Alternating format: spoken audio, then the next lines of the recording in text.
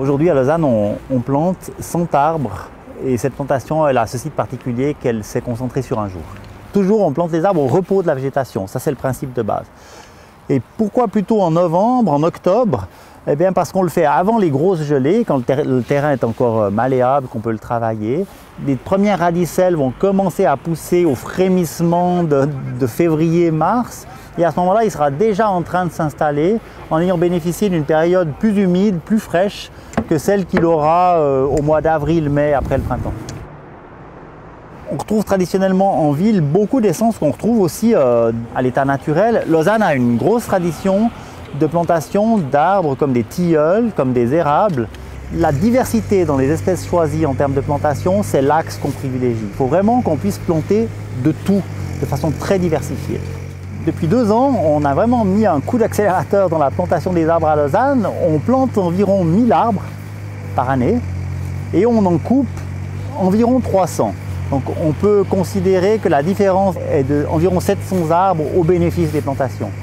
Alors le but euh, est bien entendu d'avoir un patrimoine arboré euh, au centre-ville ou dans les quartiers un tout petit peu plus périphériques pour lutter contre euh, ces îlots de chaleur et le fait de parler de canopée devient de plus en plus pertinent d'un point de vue scientifique parce qu'on va parler de la surface de toutes les feuilles, de toutes les branches et pas seulement de l'arbre à l'unité parce qu'on peut avoir des petits arbres qui n'ont pas beaucoup de développement et qui apportent beaucoup moins en termes de lutte contre les îlots de chaleur.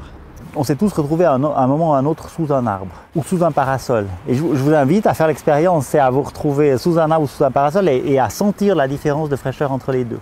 Et l'arbre a ceci, c'est qu'en plus de l'ombre qu'il apporte, il apporte la fraîcheur parce qu'il humidifie l'atmosphère autour de lui.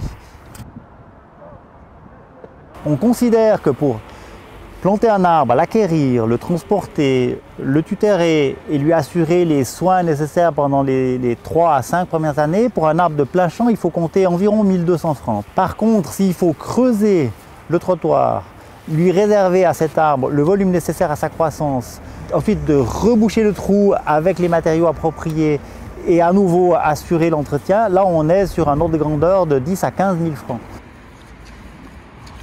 On doit absolument tenir compte de ce qui nous arrive en termes de changement climatique.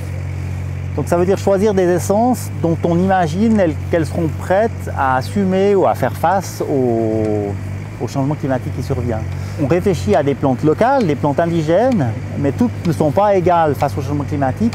Et on aimerait aussi avoir des plantes de provenance euh, peut-être légèrement du sud ou du Caucase, pour avoir des plantes qui soient susceptibles d'être dans un climat qui leur convienne en 2050, en 2070, parce que les arbres qu'on plante aujourd'hui ici, on aimerait bien euh, faire en sorte qu'ils soient toujours là en 2070.